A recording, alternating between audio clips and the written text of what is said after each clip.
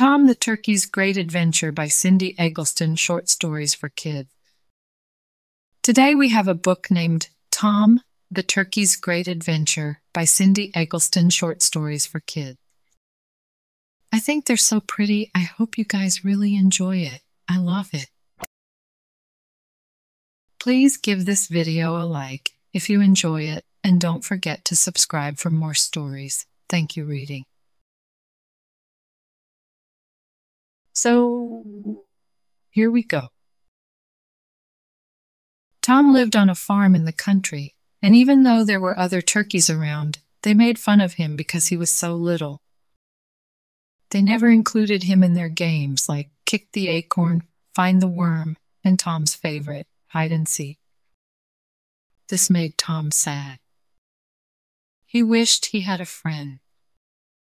One morning he decided it was time to leave the farm, he thought. Maybe I'll find someone who will be my friend. Tom had never been away from home, but was excited to start his new adventure.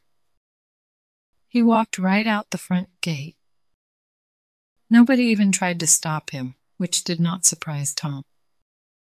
He was used to being ignored by the others. Tom took a path that led into the forest beside a babbling brook filled with rainbow speckled trout. Suddenly he came upon a meadow. A slight breeze brought the sweet scent of violets and wild lilies. There were many new sights and smells that were different from the farm. The piney scent of fir trees, the mustiness of wild mushrooms, and the mossy dampness of the brook.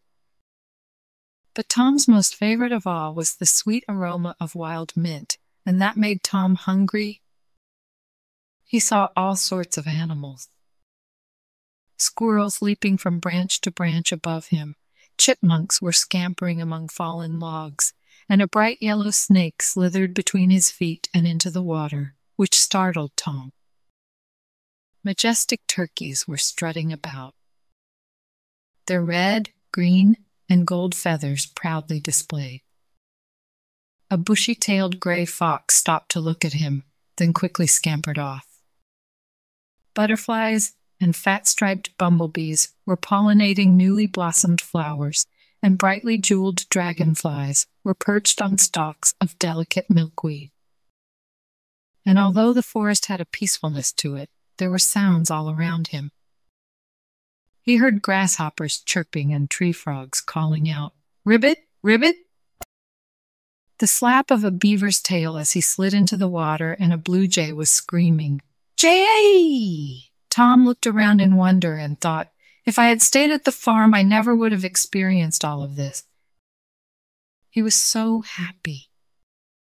Suddenly, he came upon a rabbit nibbling on bright green clover, her velvety fur white as snow.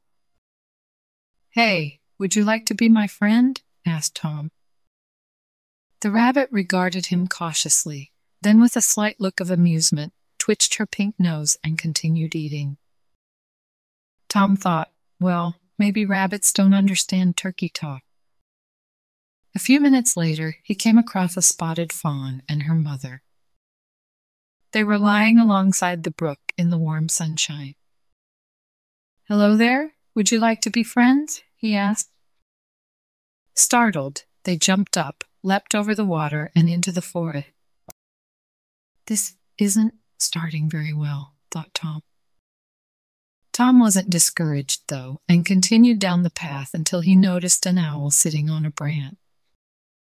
Oh, hello there, Mr. Owl. Would you like to be my friend? The owl stared down at him, tilted his head to the side, and in a deep voice said, Son, don't you know turkeys and owls can't be friends?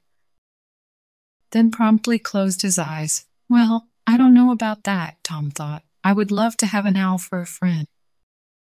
Feeling a bit dismayed, but still hopeful, he decided to walk a little further when he noticed a movement in a wild blueberry bush. Stepping closer, he saw a little face peeking out at him. Hey there, don't be afraid. Would you like to come out and be my friend? he inquired. The bushes slowly parted, and there stood a little raccoon.